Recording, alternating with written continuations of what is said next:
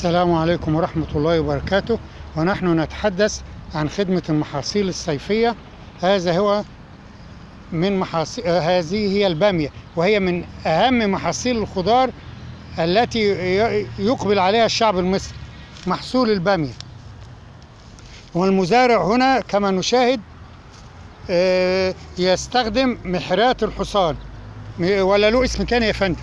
لا محار له اسمه محرات الحصان. يعني أنا فاكر وإحنا إحنا عندنا أرض برضو كن يعني إخويا المزارع بيستخدم المحرات ده.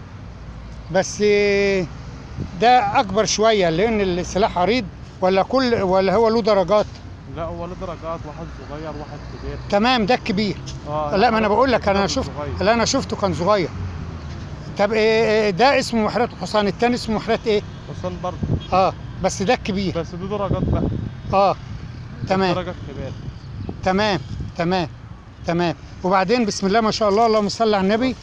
أنا شايف إن يعني المحرات بيقلع بينظف وبقلع الحشائش. إن كان دي الحشيشة دي اسمها إيه؟ ده حشيش.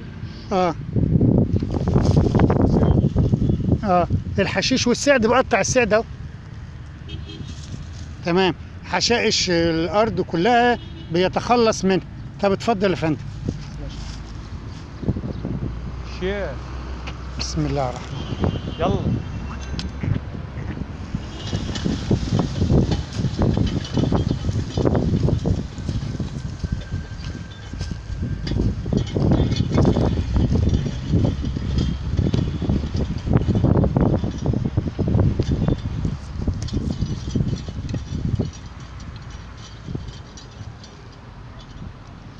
كما نشاهد المحراث يقوم بتنظيف الأرض من الحشائش وخربشة الأرض وسد الشقوق لكي تحتفظ الأرض بالرطوبة.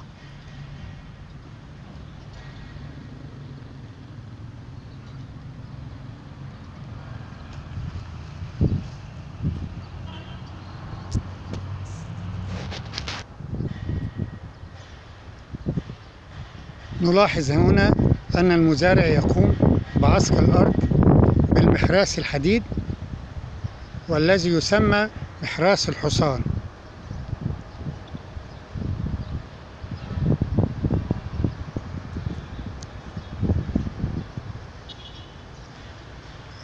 هذا المحراث محراث حديدي يقوم بعصق الأرض سد الشقوق وتنقية الحشائش أو القضاء على الحشائش.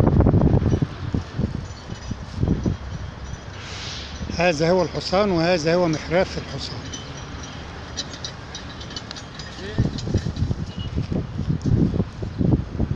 الله يعزك. بسم الله ما شاء الله. اللهم صل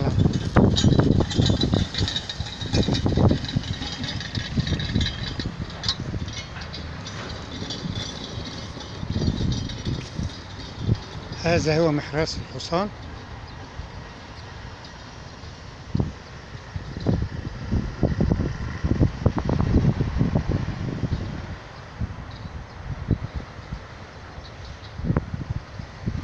وهذا المحراث من الآلات النصف يعني التي لا تحتاج مجهود من المزارع.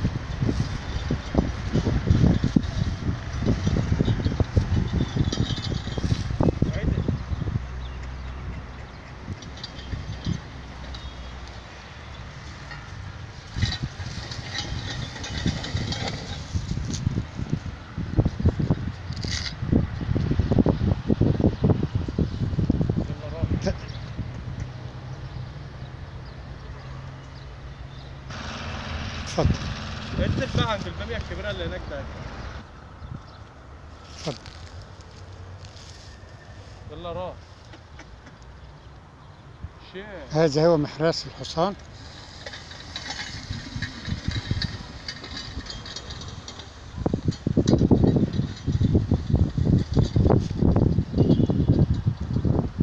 هذا ما لدينا عن محراث الحصان ونشكر حضراتكم ونشكر حسن المتابعة وإن أعجبكم الفيديو الرجاء الاشتراك في القناة لكي نستمر.